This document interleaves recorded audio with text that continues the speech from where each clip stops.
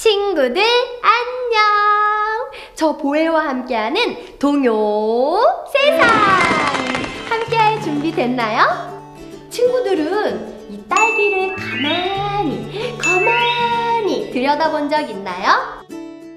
꼭 예쁜 얼굴에 빨간 주근깨가 송송송송송 박혀있는 것 같지 않나요?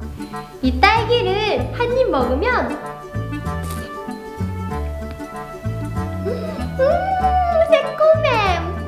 먹으면? 음! 음! 이렇게 맛있는 딸기를 생각하면서 노래를 불러봐요.